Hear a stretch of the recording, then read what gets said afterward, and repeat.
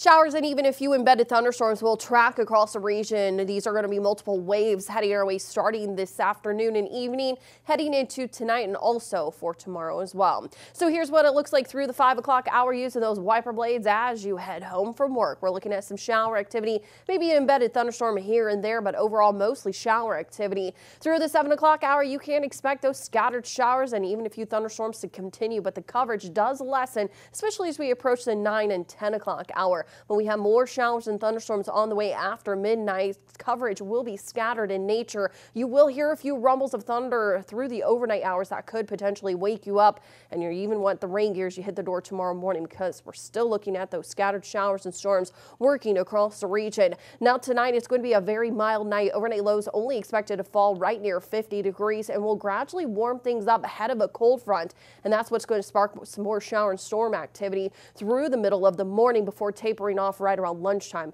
As far as that coverage is concerned in the afternoon, maybe a few spotty showers, but quite frankly, coverage is very limited. High temperatures, they're going to be topping out in the morning in about the middle 50s before falling in the afternoon. So a soggy day tomorrow until the afternoon hours. We wrap up that rain staying under a cloudy sky. Still a fairly mild day for us, but temperatures are trending much cooler as we wrap up the work week. Another round of rain heading our way as we head throughout the late Friday into Saturday. Of those details on Fox 55 News.